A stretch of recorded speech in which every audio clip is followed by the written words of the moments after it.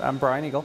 Uh, I'm a research engineer. Uh, I'm actually a Weinberg Fellow here at the lab also. Uh, I'm working with a, with a team to design and build a new enriched stable isotope production facility. Um, this facility will be the only one in the country and one of only a few in the, in the world that's capable of enriching and producing stable, uh, enriched stable isotopes. Those isotopes are used in a, in a very, very broad research industrial applications. We use stable isotopes in everything from medical treatments. They, they help to study human metabolism to a key ingredient in cancer therapies.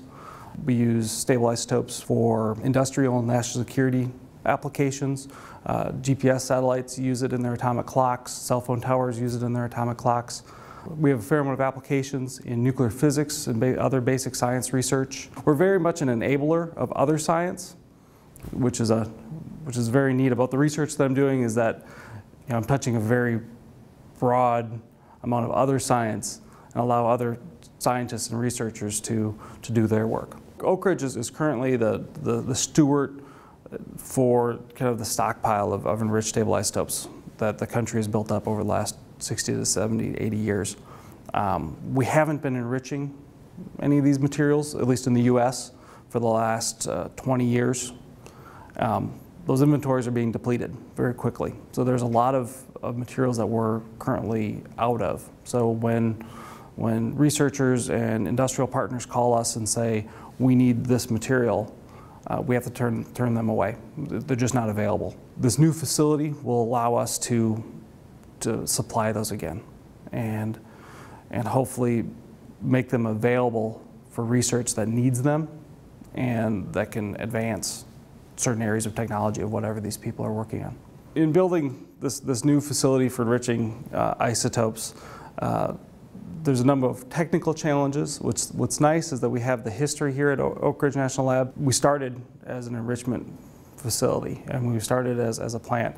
So we're building on a lot of the history and a lot of the operational experience that's here and then we're trying to improve that. A lot of this technology hasn't been researched, hasn't been developed since you know the late 40s.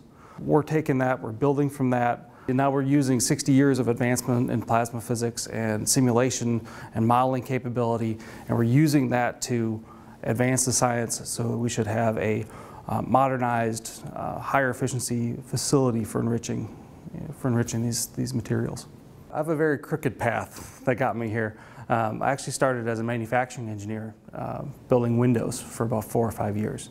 Uh, loved it, had a great job, decided that I'd rather save the world with nuclear fusion. The neat thing about working at ORNL is the level of expertise that's here. You know, if I need an expert in in RF technology, I can walk down the hall and say, "Hey, John, I need some help with this," and the world expert is two buildings over or two doors down from me. You've got a space here that you can collaborate. You can get all these experts in a room and solve problems that people with with very narrow focuses can't solve. And that's, that's what makes national labs great for doing research. Advanced research that you just can't solve in one discipline.